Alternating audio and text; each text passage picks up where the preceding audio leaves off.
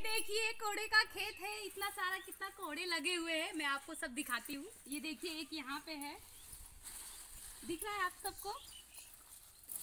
तो ये देखिए, मैं यहाँ से इसे तोड़ ले रही हूँ। कोहड़ा पम्पकिन कैसा लग रहा है दोस्तों? अब देखिए, मैं और तोड़ने वाली हूँ। यहाँ से। तो ये देखिए ये देखिए, मैंने तोड़ लिया है। तो मैं एक और तोड़ने वाली हूँ। तो यहाँ से देखिए, यहाँ पे कितने प्यारे प्यारे लगे हुए हैं। और एक मैं ये भी तोड़ लेती हूँ। तो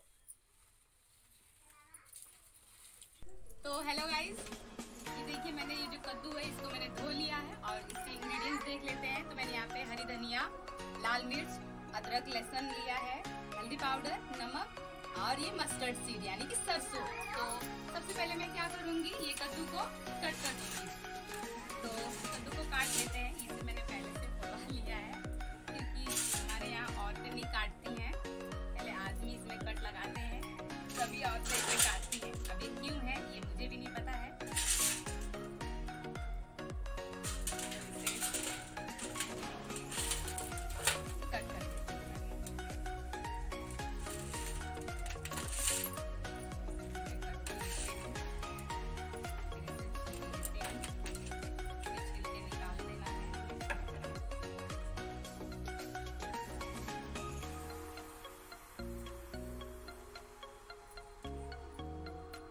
नरम है ये।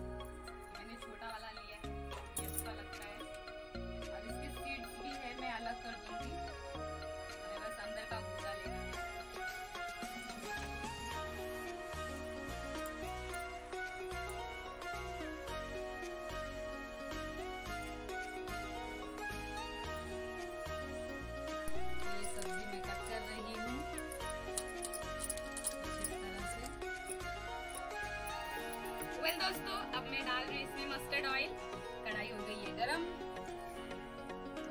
इतना काफ़ी है। तो अब मैं इसमें लाल मिर्च डाल दे रही हूँ। तो अब मैं ये कद्दू इसके अंदर डाल दे रही हूँ।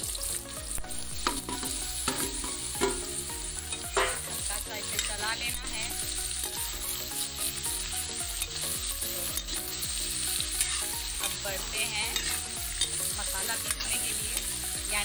मस्टर्ड चीज़ तो चलिए, ऐसे फोड़ लेती हूँ। बस ये मुझे तीन ही इंग्रेडिएंट्स लेना है, ज़्यादा कुछ नहीं लेना है तो सिंपल सी है। तो इसे इस तरह से पानी डाल के।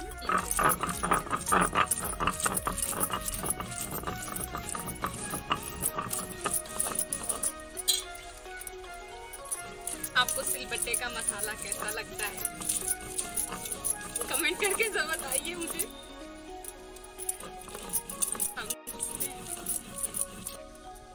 पीस चुके हैं। इसे एकदम बारीक पीसना है। दरदरा ना रहे तो ये मैंने पीस लिया है। उठा ले रही हूँ।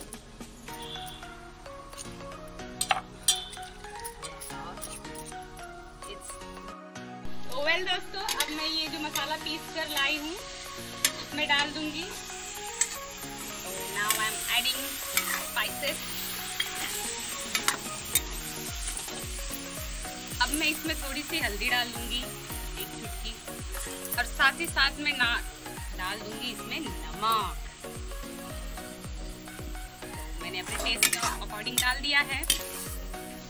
अब इसे पकाऊँगी मैं 10 मिनट के लिए। हाई फ्लेम मैं ढक दे रही हूँ। फ्रेंड्स ये देखिए इसका कलर जिसे पीस बहुत पसंद होगा तो ये पता ही होगा ये मस्टर्ड का कमाल कैसा रहता है मस्टर्ड सीड्स इसकी फ्लेवर कितने अच्छे रहते हैं। तो कुछ ये फ़िश के जैसा टेस्ट आता है इसका फ़िश करी के जैसे। तो मेरे घर में कद्दू की सब्ज़ी इस प्रकार से बहुत पसंद आता है सबको। आप सब भी ट्राई करिए, ये बहुत डिलीशियस बनता है। कम इंग्रेडिएंट्स में से ये सब्ज़ी बन जाती है। कैसी लगती है, मुझे कमेंट करके ज़रूर बताएँ। अब मैं गैस को लो फ्लेम पे कर देती हूँ। तो पाँच मिनट के लिए और पकाएँगे इसे। वेल दोस्तों, ये पम्पकिन जो है, ये ऑलमोस्ट डन है। तो ऐसे ऐसे मैं दबा ले रही हूँ थोड़ा, ये सॉफ्ट हो जाएँगे। तो हमें इसे एकदम मुलायम कर लेना है।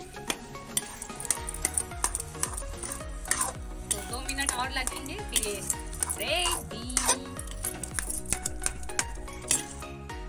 दोस्तों ये कद्दू की सब्ज़ी तैयार हो गई है देसी स्टाइल से। मैंने इस पर धनिया और से गार्निश कर दिया है। तो आपको ये रेसिपी कैसी लगी? तो मुझे कमेंट करके ज़रूर बताएँ